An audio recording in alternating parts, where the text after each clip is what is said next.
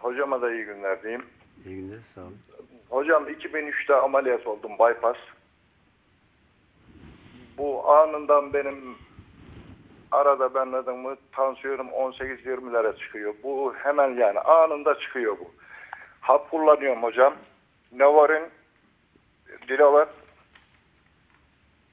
Belok kullanıyorum 50'lik. Aspirin kullanıyorum. Bunların ben faydası yok hocam. Bunun bir bana önereceğiniz bir anladım yorgunluk var.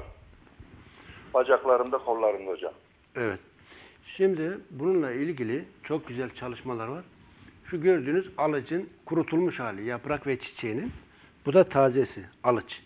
Evet Tür- hocam. Türkiye'de 90 çeşit alıç yetişir. Sadece ikisi şifalıdır. Loplu alıç, kertikli alıç. Alıçla ilgili Almanya başta olmak üzere birçok ülkede klinik araştırması yapılmış. Mesela bu klinik araştırmalardan birine 3664 hasta katılmış. Evet. Kimyasal ilaçlardan daha etkili ve yan tesiri yok. Alıçından elde edilen etken madde, hiperozit. Tansiyonu düşürür. Kolesterolü önler. Kalbi güçlendirir. Kalbe kan akışını artar. Kalbi besler. Hiçbir yan etki yok.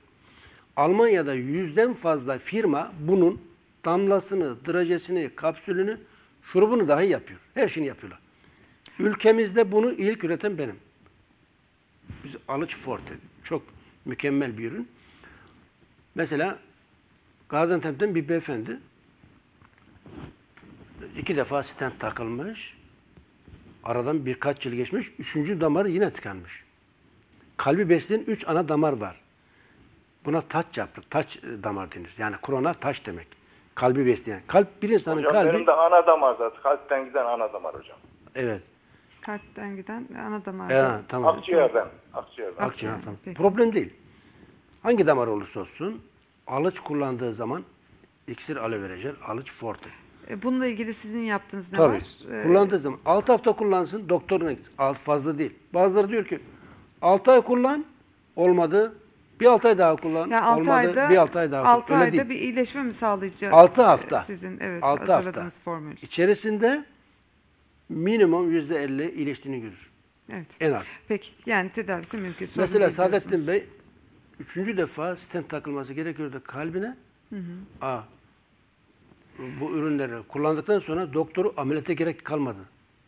Peki tamamen Ahmet düzeldi. Tekillioğlu'na da teşekkür ediyoruz Ahmet Bey. Geçmiş olsun diyoruz. Hocam bu ürünleri nereden temin edeceğiz? Bizim burada alış var. Biz kendimiz yapsak e, dediğin gibi olmuyor. Bu şimdi hepsinin yani faydası olmuyor dediğine göre nereden temin edeceğiz hocam bunu? Peki Abi. e, rejiden iletişim bilgilerini Bitkiseltedavi alabilirsiniz. nokta com Peki e, bitkiseltedavi.com Nokta com. sizin siteniz. Aslında Evet. orada da bazı şeyleri anlatıyorsunuz Evet. değil mi? Tanıtıyorsunuz da yardımcı da oluyorsunuz. Evet. Peki bitkiseltedavi.com Peki teşekkür ederiz Ahmet Bey'e. E, Gaziantep'ten Murat